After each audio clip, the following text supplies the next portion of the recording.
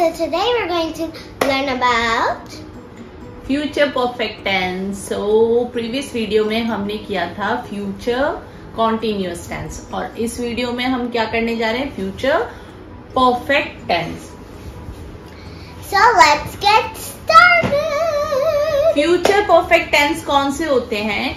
जिन tenses में हमें ये समझ में आता है कि किसी स्पेसिफिक सिचुएशन में हमने कोई काम कर चुका होगा। मतलब हम वो काम फ्यूचर आने वाले फ्यूचर में इस स्पेसिफिक टाइम तक वो काम हम कर चुके होंगे। जैसे फॉर एग्ज़ाम्पल कल 9 बजे तक मिशकू स्कूल पहुँच चुकी होगी। सो so, ये क्या है? फ्यूचर परफेक्ट टेंस है। क्योंकि कल मतलब फ्यूचर और पहुँच चुकी होगी। नाइन ओ क्लॉक तक स्कूल तो इसका मतलब perfect first future continuous future perfect continuous हम नेक्स्ट वीडियो में करेंगे और फ्यूचर कॉन्टिन्यूस हम कर चुके हैं लास्ट वीडियो में। किया था ना? Yeah. हाँ भूल गए? जिसमें हमने शेल बी विल बी लगाया था। Mm. हम्म? और इस वीडियो में क्या क्या कैसे सेंटेंस बनेंगे? वो अब हम देखते हैं। सो so, पहले आप पढ़ो इसकी डेफिनेशन क्या बोल रही है?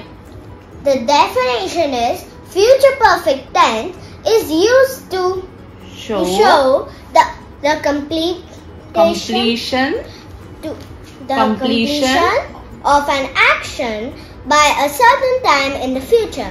It is used with, With- a time, time expression beginning with by. By so जैसा कि मैंने बताया कि इसमें एक सर्टेन सिचुएशन होती है जिससे पहले हम किसी काम के होने की बात कर रहे होते हैं फ्यूचर में। So first example is his thesis with, thesis by this time next year. Hmm वो इस टाइम तक अपनी थीसिस कंप्लीट कर लेगा नेक्स्ट ईयर में। Next The workers will have completed their complex by June next year. हाँ workers क्या कर लेंगे? अपना काम कंप्लीट कर लेंगे बाय जून नेक्स्ट ईयर में। सो so, इसका टेंस कैसे बन रहा है? सब्जेक्ट सब्जेक्ट प्लस will और शैल विल और शैल दोनों में से एक यूज़ करेंगे। Plus have pu- plus the past past past participle form हमें इसमें याद ऐड करनी है किसके साथ? हैव के साथ. तो पास्ट पार्टिसिपल फॉर्म कौन सी होती है? वर्ब की. थर्ड फॉर्म वेरी गुड अब मिशकू एक ये एग्ज़ाम्पल आप रीड करो. रीड करो. He will have retired by the time he is 60. He will have retired क्या क्या आ गया इसमें? विल आ गया हैव आ गया और रिटायर की थर्ड फॉर्म आ गई. Retired by the time he is sixty next इनके स्ट्रक्चर कैसे कैसे बनेंगे Subject plus will or shall hmm plus have plus the third form of third form of a verb. Verb की and third form don't forget the object. Object okay so first example मैं read करती हूँ I will have arrived by ten o'clock first ये कौन सा है positive statement I will have arrived by ten o'clock next negative कैसे बनेगा The subject plus will or not, will Will plus or- not plus have will or or shall plus not plus have plus the third form of a verb plus object object. तो simple है इसमें सिर्फ एक not लगा दिया I will not have arrived by ten o'clock next interrogative कैसे बनेगा Will or shall hmm plus the subject plus have plus the third wo- form of a verb plus the object plus the question mark. Interrogative mark ठीक है सो will I will I have arrived by ten o'clock hmm क्या मैं ten o'clock तक पहुँच जाऊँगा okay so अब हम कुछ कर लेते हैं एग्ज़ाम्पल जिससे हमारा ये कॉन्सेप्ट और क्लियर हो जाए। सो so, मैं रीड करूँगी हिंदी के सेंटेंस और आप रीड करना इंग्लिश के सेंटेंस ठीक है? सो तुम्हारे आने से पहले उन्होंने कहा कि हम किसी एक स्पेसिफिक टाइम का इसमें हमेशा बात करते हैं। जिससे पहले या जिस जिसके आसपास हमारा वो काम हो जाना चाहिए है ना? तुम्हारे आने से पहले वह अपना पाठ याद कर चुकेगा।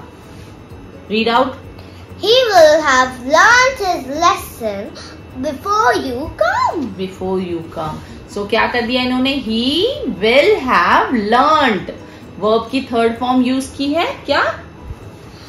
Learn Learned. Will have learn his lesson before you come next सात बजने से पहले हम खाना खा चुके होंगे We shall have taken our food before it is seven. Before it is seven third सूरज छिपने से पहले मैं पहले वे मै, मैच खेल चुके होंगे They will they will have played the match before the sun sets.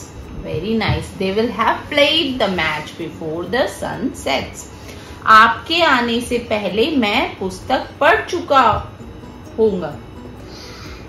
I shall have read my book before you come. Read my book क्योंकि कौन सा फॉर्म है ये? थर्ड फॉर्म है। अब हम कर लेते हैं नेगेटिव वाले। I will read out this Hindi sentence and you will explain it in English okay Hari के आने से पहले वह पत्र नहीं लिख चुकी होगी She will not have written the letter before Harry comes. Hmm. Here there is not. and okay सोने से पहले बच्चे ने दूध नहीं पिया होगा The child will not have drunk milk before he sleeps. Hmm. Next teacher के आने से पहले मैंने अपना काम समाप्त नहीं किया किया होगा. I shall not have finished my work before the te- the teacher comes.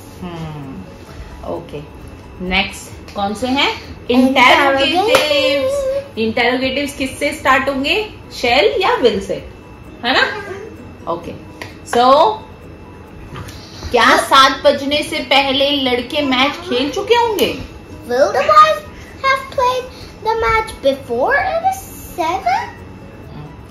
Will the boys have played the match before it is seven? Okay. Next is क्या गाड़ी आने से पहले हम टिकट नहीं ले चुके होंगे Shall we not have taken the tickets before the train arrives? Very good सूरज छिपने से पहले कितने लड़के यहाँ आ चुके होंगे How many boys will have come here before the sun sets? Very good teacher के आने से पहले कौन तुम्हारे पुत्र को दंड दे चुका होगा Who will have punished your son before the teacher comes? Okay so ये हो गया हमारा कौन सा वाला chapter over tense. that we have future perfect tense हमारा चैप्टर हो गया है ओवर और अब हमारे टेंसेस का लास्ट चैप्टर है future perfect Love. If you like this video, please share and subscribe our channel. Bye. Bye.